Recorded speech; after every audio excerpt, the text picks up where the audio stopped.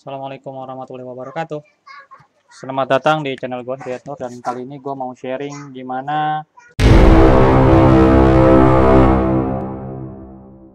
Jadi hari ini gue mau kasih tahu gimana caranya membuat web lu jauh lebih enteng karena kalau kita beriklan dan uh, web lu berat, otomatis uh, biaya biaya klik lu jadi lebih mahal karena ketika orangnya klik di situnya ditulis uh, satu orang masuk klik gitu tapi ternyata nggak ada yang masuk ke dalam web lo itu kan kena cas juga ya jadi kayak buang-buang uang gitu teman-teman. Nah gimana caranya biar bikin web lo itu enteng?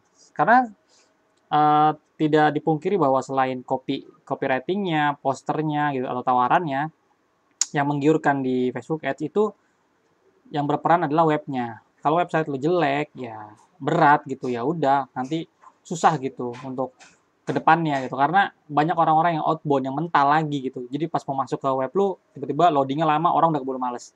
Karena kesempatannya kan 2 sampai 3 detik orang buat masuk ke web lu. Nah kayak ini nih gue C ya grade-nya. Harusnya sih B sebenarnya. Tapi pas gue deteksi-deteksi ternyata ada di poster halaman awalnya yang terlalu berat nih gue di sini nih. Makanya gue mau ganti. Uh, nanti gue kasih tahu. Pertama kita masuk dulu ke uh, GT Matrix nih teman-teman. GT Matrix masuk sini. Terus teman-teman tinggal klik di sini uh, websitenya apa. Ini misalnya. Tinggal tes your website itu. Terus habis itu nanti lo tinggal tungguin aja beberapa detik. Dia bakalan nge-scan, nge-scan. Nah, ketahuan nih kan. Uh, website kebuka mulai dan emang ini sering banget dipakai sama banyak internet marketers untuk ngecek website bagus apa enggak. Performanya 67%.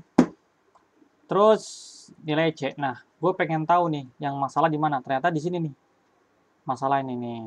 Tuh, masalah di sini nih. Teman-teman nih. Oke, jadi gue tinggal ganti. Gue punya gambar yang uh, berat di poster awalnya. Jadi kalau gue buka website gue, website gue, ini teman-teman nih di bagian sini nih uh, website gue masalah nih berat banget. Jadi gue pengen kecilin gambar ini. Karena ternyata ini uh, apa bebannya itu adalah nih tuh 1,65 MB lumayan berat teman-teman kalau buat di website. Akhirnya gue bakal kecilin. Dengan cara gue buka ke tiny.png.com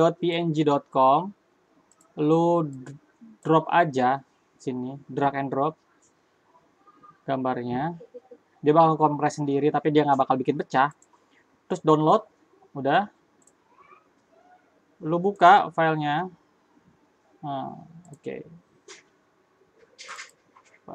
jadi sekarang tinggal 375 KB oke kita ganti teman-teman. Kita ganti ke yang lebih enteng. Nah ini. Oke. Okay. kayak nggak berubah apa-apa tapi beratnya berubah. Kita simpan. Simpan terus kita closing eh kita closing kita close. Terus kita retest teman-teman. Oke.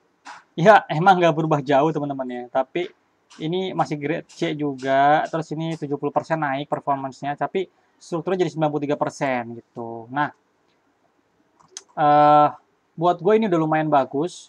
Kalau misalnya dilihat performance-nya juga lumayan bagus tuh. Ya kan? Terus ya kurang lebih. Lumayan bagus lah ini gua uh, website gua.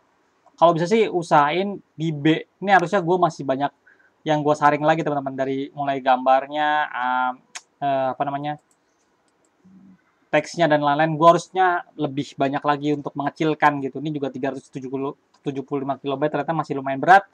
Kayaknya harus dipakai puluhan teman-teman ya biar lebih cepat ya paling begitu teman-teman uh, singkatnya adalah uh, dicek terus dicek terus gitu kondisi si website lo apakah sudah mulai melambat atau baik-baik aja karena ini salah satu yang menjadi titik penting di mana ads itu bekerja dengan baik atau tidak nantinya atau membuahkan atau tidak nantinya oke? Sekian dulu dari gua. Terima kasih sudah nonton dan jangan lupa di komen, like, dan subscribe kalau bermanfaat. Dan bisa tanya-tanya gua di @hidayatnurm kalau misalnya ada pertanyaan. Oke? Okay? Bisa juga langsung nanya di kolom komen lah. Insya Allah gue bahas belasin kok. Oke, Ya udah, gue pamit. Assalamualaikum. Bye.